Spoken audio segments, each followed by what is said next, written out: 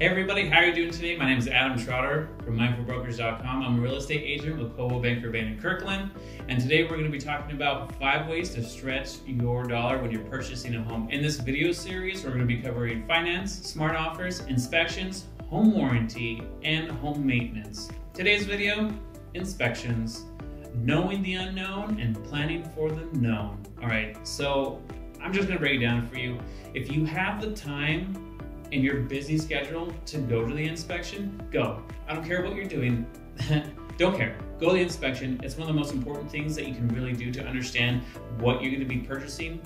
And if anyone tells you when you're submitting offers, especially it happens here in Washington, if there's multiple offers, they're like, okay, we gotta wait, you know, they're looking at offers and they want you to wait with your inspection. Nope, not the house for you. Why? You're spending hundreds of thousand dollars, millions plus you need to know what you're purchasing. That's one of our jobs as a real estate broker is to mitigate that risk for you and get that inspection. I don't care who tells you otherwise. Inspection is important. It's going to cost you a couple hundred bucks, but at the end of the day, it's going to really break down what is going to happen to the property, really, right? Now, there's some broader scope that I put on here. That's going to be your sewer scope. There's going to be environmental. That's going to be septic.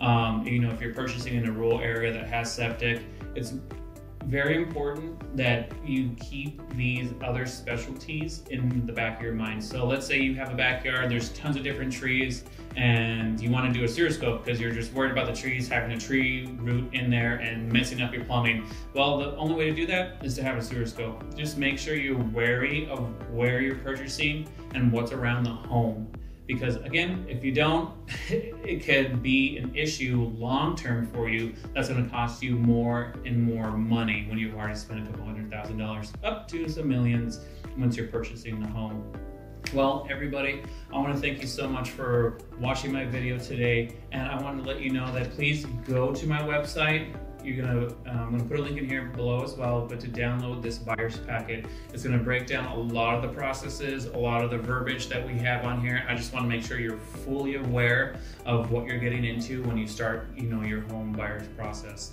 Now, uh, next videos that we're gonna be covering is gonna be home warranty. Thank you again for watching. Like and subscribe below. And if you have any questions at all, put them in the comments and I'll answer them as best as I can. All right, thank you.